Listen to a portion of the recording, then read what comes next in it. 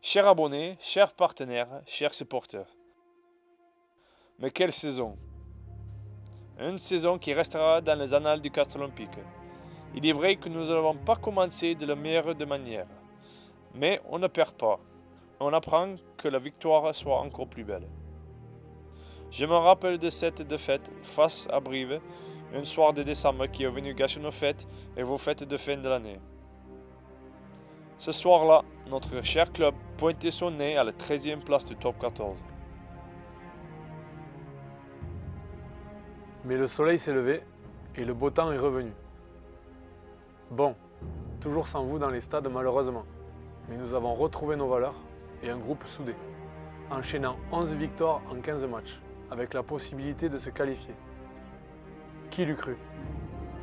Nous, nous y avons cru, car ce groupe a du talent et qu'il a envie de faire lever Pierre Fabre. D'ailleurs, quand est-ce que vous revenez? Parce qu'ici, plus qu'ailleurs, vous nous manquez. Nous avons besoin de ce 16e homme qui nous transcende tant. Besoin de vos chants qui nous donnent des frissons. Besoin de vos applaudissements qui nous galvanisent. Besoin de vos cris qui nous poussent pour aller marquer cet essai de la gagne ou nous portent lorsque nous devons défendre notre ligne.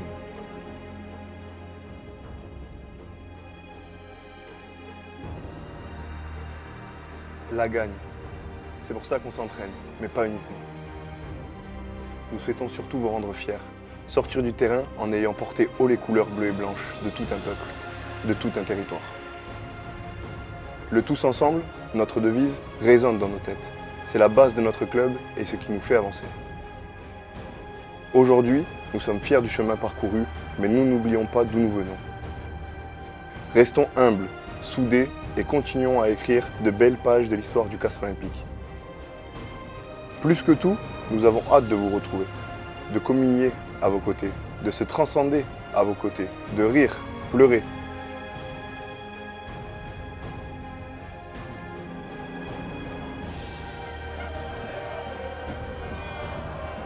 Nous sommes le Castre Olympique.